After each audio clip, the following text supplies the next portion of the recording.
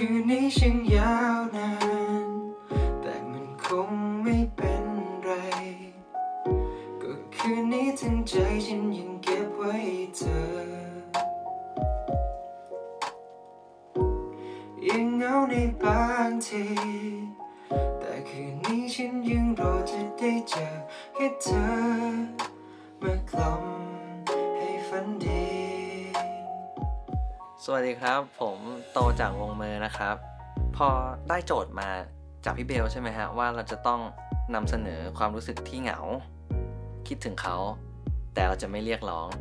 ผมก็รู้สึกว่า การห่มผ้า มันเป็นความรู้สึกที่อบอุ่น แล้วเรารู้สึกได้ว่าเขาอยู่เคียงข้างเรา คุณไม่ต้องมากมาย ไม่ต้องมาให้อะไรกันเยอะแยะ ไม่ต้องมาตัวติดกันตลอดเวลา แต่ความใส่ใจความห่วงใยที่คุณมีให้เราเสมอก็คือ คุณไม่เคยจะยอมให้เรานอนหนาวอยู่คนเดียวในตอนกลางคืนฮะซึ่งผมคิดว่าโอเอลเข้าใจความรู้สึกนั้นดีครับ อยากให้เธอมาห่มผ้ามันจะเป็นอย่างเงี้ยสั้นนะพี่คำสั้นนะแค่อยากให้เธอมาห่มผ้าให้หน่อยนะก็จึกแล้วมันแนบหนาวเอาใหม่เลยดีกว่าครับ ไม่ได้ต้องการอะไร ผิดตลอดเลยอะอย่าไป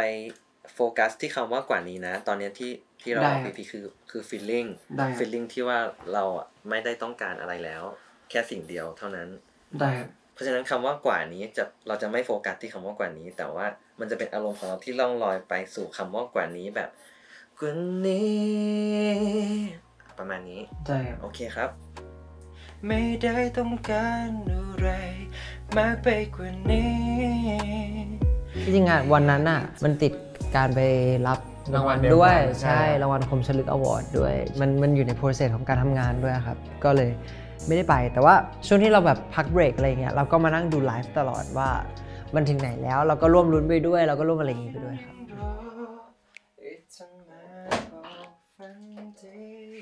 และสำหรับรางวัลคมชัดลึกอวอร์ดครั้งที่ 17 ประเภท Popular v o t e สาขานักแสดงนำชาย ยอดนิยมได้แก่ ยินดีด้วยค่ะกับพีพีกฤษฏ์ อำนวยเดชกรค่ะ ใครที่รับใครครับ ใครขึ้นอะ เชิญขึ้นมาบนเวทีเลยพี่นะบอลคะปะพี่พีไปกินกันแน่สำหรับรางวัลนี้ผมขออนุญาตเป็นตัวแทนพีพีมารับแทนนะครับ วันนี้พีพีติดภารกิจของซีรีส์แปลรักฉันด้วยใจเธอ part สองนะครับผม ก็อยากมามากๆแต่ว่ามาไม่ได้นะครับ ก็ตัวสุดท้ายเขาก็จูบิวกินก็คือเอารางวัลมาให้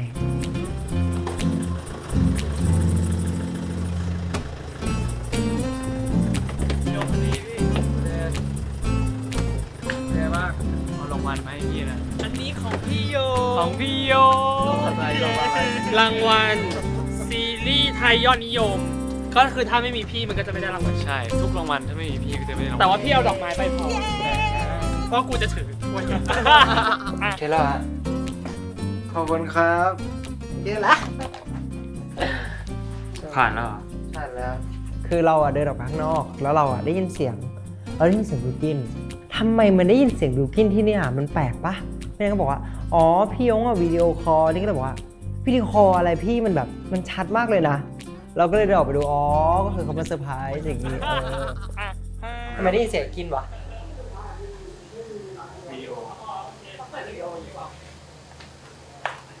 ไม่เขาคุยกันจริงจริงเหรอๆเออพี่โอ้ยเห็นไหมเขาเป็นแหลก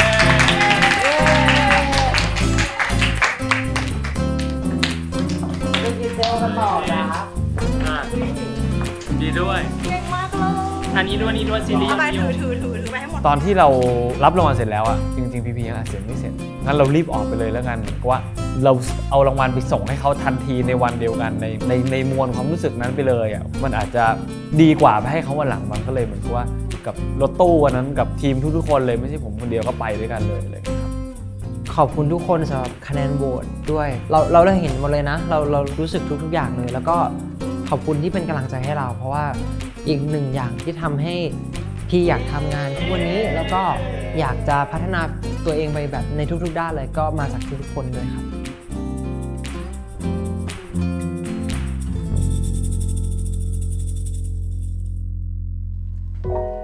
ก็พอจะรู้เธอคงไม่ว่าง รอให้เธอพร้อมเคยมาเคียงข้าง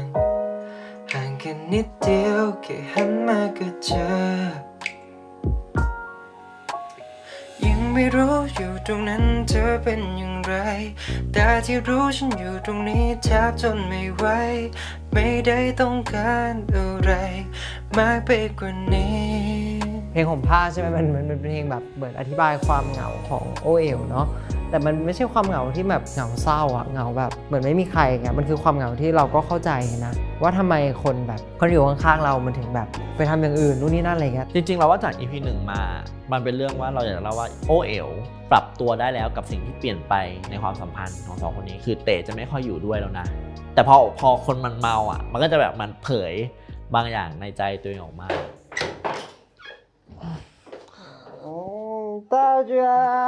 哎，也不靠，也不靠，靠哪嗯？可以吗？可以吗？嗯，可以。嗯，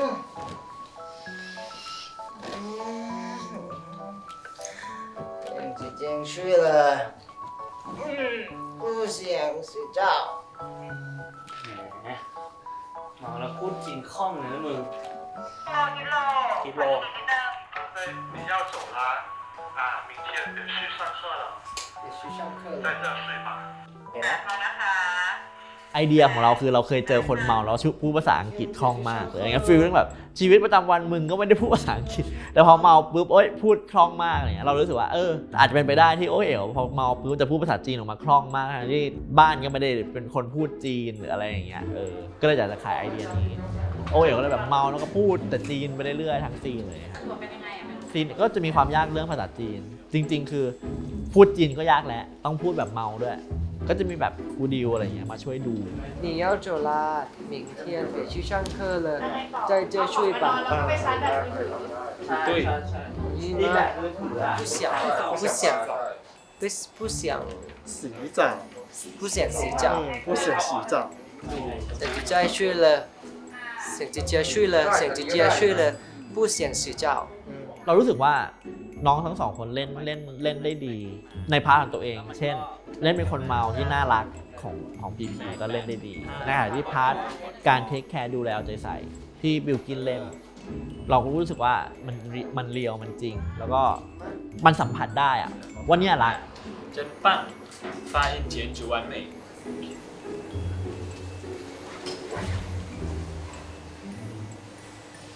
คือเราอยากเล่าเรื่องความฝันกับความสัมพันธ์ว่ามันไปด้วยกันได้ไหมอะไรอย่างเงี้ยแหละอะไรเงี้ยแล้ว EP เนี่ยเป็น EP ที่จะพูดเรื่องนี้ได้อย่างเข้มข้นที่สุด พร้อม and action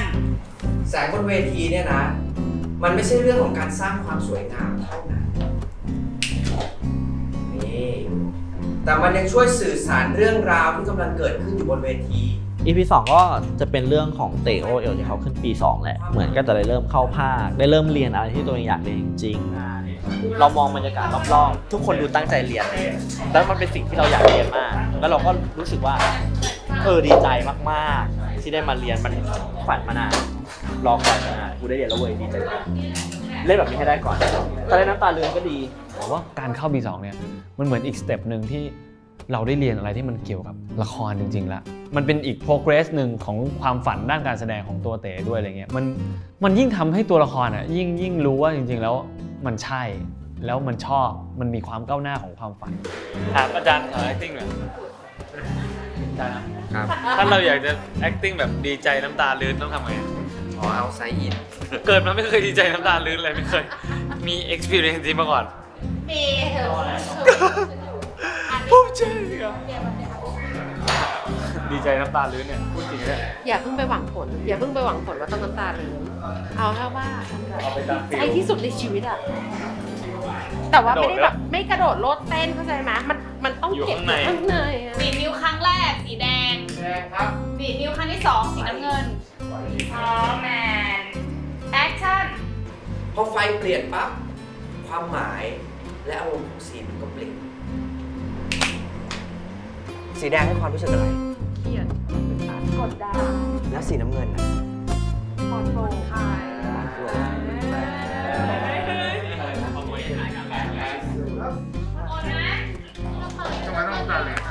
มันดีใจมากที่มันได้เรียนสิ่งที่มันฝันมาตลอด เทคสุดท้ายพอใจมาก ในเวลาอันปริมๆ เกินมาแล้ว3นาที ได้ทำได้ดี ของฝั่งโอเอ๋วมันก็จะเจอกับเพื่อนแก๊งใหม่เหมือนกัน แต่มันไม่ได้เริ่มต้นแบบเตของเตมันจะเป็นเรื่องแบบความฝันเนาะแต่ของเราเหมือนของเรา มันเกิดจากความเหงาของเราอะที่สุดท้ายแบบเหมือนพอเรานั่งคนเดียวในคณะที่มันปูในเรื่องมา แล้วก็จะเป็นกลุ่มเพื่อนนี้แหละที่แบบเข้ามาเจอเราเข้ามานั่งในโต๊ะเดียวกับเรา สุดท้ายเราก็ blend in ได้แล้วก็ไปอยู่ในกลุ่มเดียวกันได้ซึ่งจริงๆพี่ว่ามันมันดีมากๆเลยนะกับแก๊งเพื่อนเนี้ยกับความสัมพันธ์แบบเนี้ยเพราะว่าทุกๆ คนในในในเรื่องมี character ที่แตกต่างกันมากคนหนึงจะเป็นแบบสายหนึ่งคนหนึงเป็นอีกสายหนึ่งอะไรเงี้ยแต่ว่าทุกๆคนพอมารวมกันเงี้ยมันคือความดีที่แบบกลุ่มกลุ่มเพื่อนของโอ้เอ๋วที่ที่ทุกคนต่างกันแต่ว่าอยู่ด้วยกันได้แล้วมีแบบมีความสุขแล้วก็มีเสน่ห์ด้วย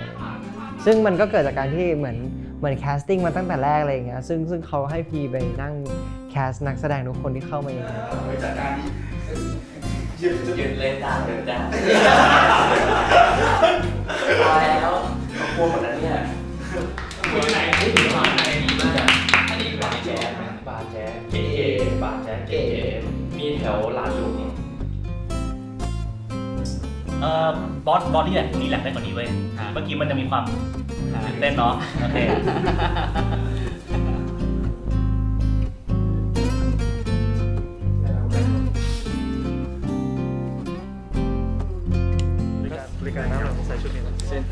ก็เป็นเป็นซีนที่เหมือนกับว่าขิมเนี่ยเขาก็จะมามาแคสแล้วเขาก็จะโดนเหมือนที่พี่ทีมแคสบอกว่าดูแบบไม่ค่อยฉลาดเท่าไหร่ดูแล้วแบบจะทำโปรดักเขาเสียหายแล้วเหมือนกับว่าเขาก็เหมือนมามาแชร์กับเราว่า จริง ๆ แล้วเขาแบบอยากจะทำมันเป็นอาชีพอยากจะทำมันจริงจังอะไรเงี้ยเป็นอีกมุมหนึ่งที่จริง ๆ แล้วอาจจะไม่เคยรู้เกี่ยวกับคิมเลย แต่อาจจะไม่เคยรู้และอาจจะไม่เคยถูกเล่าออกมาในเรื่องเลย มึงรู้ปะกูแม่งไม่เคยเกี่ยงบทเลยเว้ย เพราะกูรู้ว่านักแสดงอะ มันควรจะต้องเล่นได้ทุกบท จะสมทบจะตัวประกอบจะอะไรก็ตามกูรับแม่งหมดอะ แล้วกูบอกกับตัวเองเสมอนะว่า ไม่ว่ากูได้อะไรกูต้องเต็มที่กับมันจริงๆซีนนี้มันเป็นซีนสำคัญของเต๋กับขิมเหมือนกันมันเป็นเหมือนเป็น scene ที่คล้าย ๆ เขาจะสัญญากันแล้วก็จะสู้ไปด้วยกันแหละ เราก็เลย อยากให้มันเป็น scene แรกที่เต๋เองก็ได้เรียนรู้ว่าจริงๆแล้วขิมอะเขาก็มีความ suffer บางอย่างในใจมึงต้องแค่ได้นะห้ามทิ้งกูแล้วต้องสู้ไปด้วยกันโอเค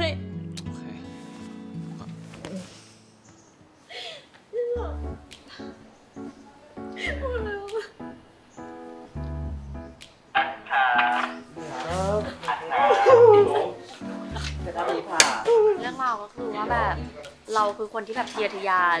cast มาเยอะมากเล่นมาหลายบทมาก cast แบบเป็นสิบเป็นร้อยทีก็ไม่ได้สักทีอะไรอย่างเงี้ยซึ่งเราก็รู้สึกว่า เออมันแบบมันล้ามันเหนื่อยประมาณนั้นอะอย่างพี่ก้อยอะคือผมว่าตั้งแต่เราเข้ามานะเราเราเห็นเขาเป็นนักแสดงที่เป็นรุ่นพี่อะมากไปกว่านั้นคือหลาย ๆ ครั้งตั้งแต่รักสุดใจหรือว่าแปลรักฉันด้วยใจเธอ part หนึ่งอะไรเงี้ยเขาก็เขียนบท แล้วก็เขาก็มาเป็น acting coach ที่เหมือนกับว่าทำเวิร์กช็อปให้เราด้วย แล้ววันนี้เหมือนเรามีโอกาสได้มาเล่นกับเขา มันตื่นเต้นอะรุ่นอะไรนะรุ่นอะไรตาตาที่แล้วอะก็จะเดินแหละไม่เป็นไรนะ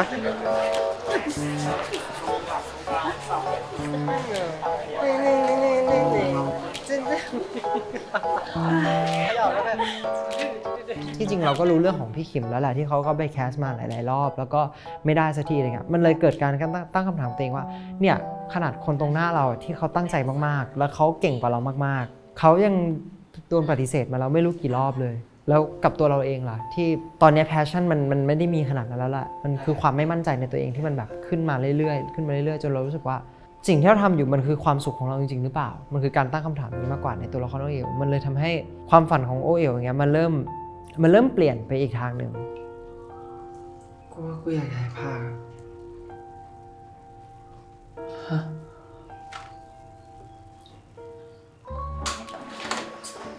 ต้องใช้อีกประมาณนี้ปะตอนแรกเอวอย่างเงี้ย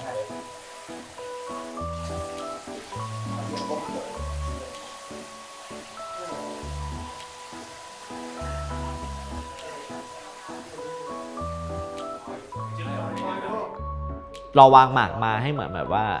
พอโอเอ๋วยอมแพ้ไป เต๋ก็ยังสู้ต่อด้วยความคิดว่ามีขิมเป็นไอดอลนี่แหละกูจะไปเป็นแอร์แล้วนะ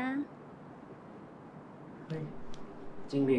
สายการบินแต่พอวันหนึ่งพอขิมมันจะเรียนจบจริง ๆ แล้วมันเลือกเปลี่ยนเส้นทางตัวเองปุ๊บอะไรเงี้ย ก็เลยเหมือนยิ่งทำให้เต๋เดากับสิ่งที่เกิดขึ้นว่ามันทำไมเป็นอย่างนั้น คนที่มันยึดถือเป็นคนที่เหมือนกับจะจูงมือกันไปด้วยกันอะไรเงี้ยค่อยๆ ปล่อยมือกันไปกันทีละคนอะไรเงี้ยมันก็เลยรู้สึกแบบเฮิร์ตมากๆอะไรเงี้ย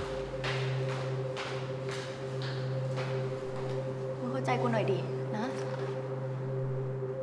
ถ้าคุณไม่เข้าใจได้ปะเต๋เงื่อนไขชีวิตคนเราไม่เหมือนกันนะมึง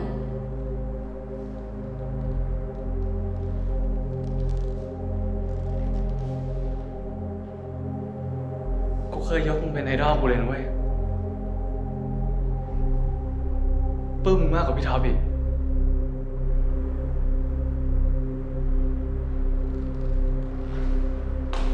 ไอเต๋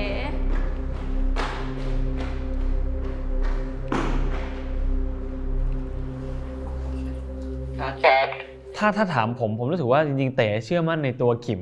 ไม่น้อยกว่าโอเอ๋วเลยนะ ถ้าเป็นเหมือนนกอะมันเหมือน เรามีลมใต้ปีกสองข้างที่เสริมความเป็นตัวตนของเราอยู่ วันหนึ่งแบบโอเอ๋วหายไปเราเรายังมีลมอีกข้างหนึ่งที่คอยเสริมให้เราบิน และเราเชื่อมั่นในตัวเองอยู่ แต่มันเหมือนพอเขาหายไปมันเหมือนปีกหักครับซีนนี้เป็นซีนสำคัญของบิลกิน เพราะว่ามันพังทลายมาก โอเอ๋วไม่เดินข้างเขาแล้ว เขาเสียขิมที่เขามองเป็นไอดอลคนที่เขามองว่าเขาจะยึดถือวิถีชีวิตแบบเนี้ยทั้งโกรธทั้งหงุดหงิด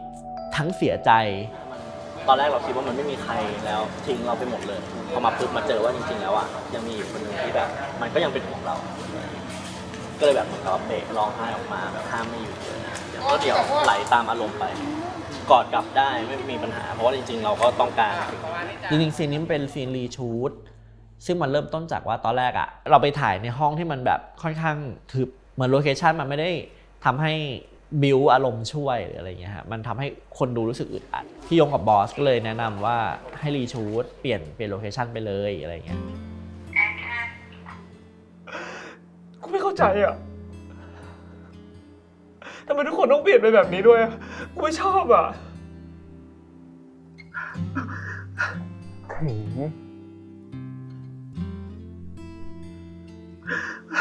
ทุกคนเขาก็มีเส้นทางชีวิตของตัวเองนะเว้ยในในอันแรกมันเป็นเหมือนกับว่า ความรู้สึกว่าเวลาเราพังมาก ๆแล้วอะเต๋อยากได้ใครสักคนก็เลยไปหาโอเอลคือเหมือนแม้จะโกรธกันอยู่ เต๋ก็พังจากขิมแล้วรู้สึกเสียใจมากๆถ้าจนยอมลดอีโก้ตัวเองลง แล้วก็ไปหาโอ้เอ๋วเพื่อจะไปร้องไห้กับโอ้เอ๋วว่า เอ้ย เรารู้สึกเสียใจมากเราอยากมาเจอเธอ การการยอมลดอีโก้ตัวเองเพื่อไปหาอีกคนหนึ่งมันก็ทำให้เต๋ดูเป็นคนแบบ เอาแต่ใจอยู่ประมาณนึงไหนๆก็เปลี่ยน location แล้ว เราก็เปลี่ยนเปลี่ยนเนื้อเรื่องด้วยเลย ถ้าเปลี่ยนเป็นให้โอ้เอ๋วมาหาแทนล่ะ มันก็จะได้อีกมุมหนึ่งเลยนะ คือเต๋ก็ยังโกรธโอ้เอ๋วเหมือนเดิมแหละ ก็คือไม่ไปหา แต่พอมาเจอว่าโอเอลอะก็เป็นห่วงตัวเองที่ตัวเองหายไป แล้วพอเจอหน้ากันอีโก้มันเลยพังทลาย ความรู้สึกหงุดหงิดทั้งหมด ความรู้สึกอะไรทั้งเขาอยู่ตรงนี้ไง เขายังเป็นห่วงมึงอยู่เลยหรืออะไรฟีลลิ่งประมาณนี้ก็เลยได้อีกมุมหนึ่ง แล้วเรารู้สึกว่าเข้าใจง่ายกว่า แล้วมันก็เข้ากับโลเคชันอะไรทุกอย่างอะไรเงี้ยก็เลยรู้สึกว่าดีเหมือนกันพร้อม and action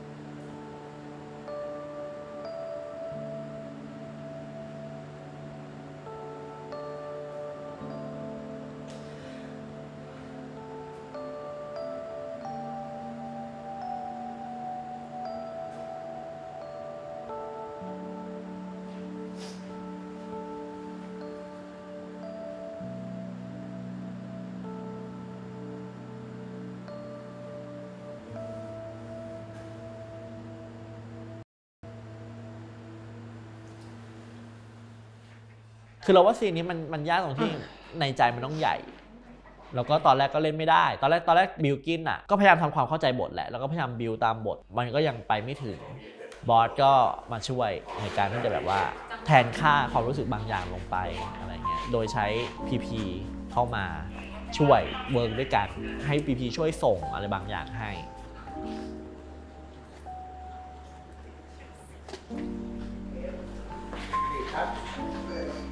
้องแอคชั่น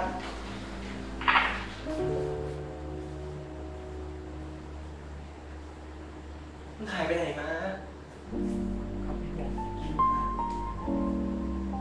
รู้ว่าคนอื่นเป็นห่วงอะ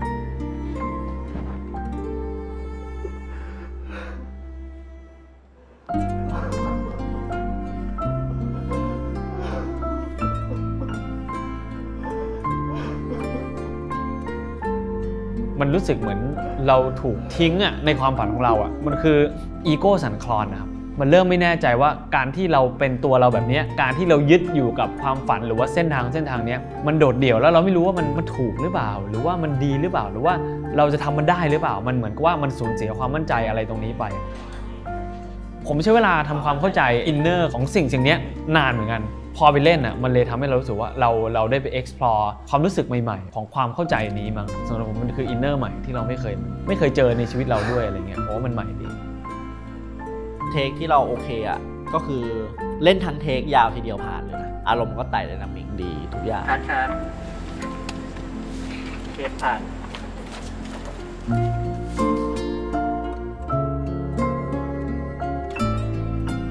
ความเปลี่ยนแปลงที่เกิดขึ้น เคยคิดไว้ว่าจะเป็นอย่างนี้ ปรากฏว่ามันเปลี่ยนมาเป็นแบบนี้ปุ๊บ เราจะยังรู้สึกได้เท่าเดิมไหม เราว่า EP 2เป็น EP ที่พูดถึงเรื่องนี้ได้ได้ได้เข้มข้นที่สุด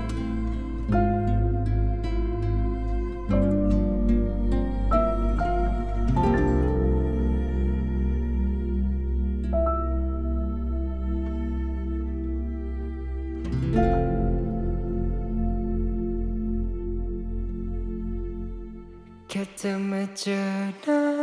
กันหน่อยนะเธอนั้นอยู่ที่แห่งไหน ฉันจะรอ จะรอเธอ อยู่ตรงนี้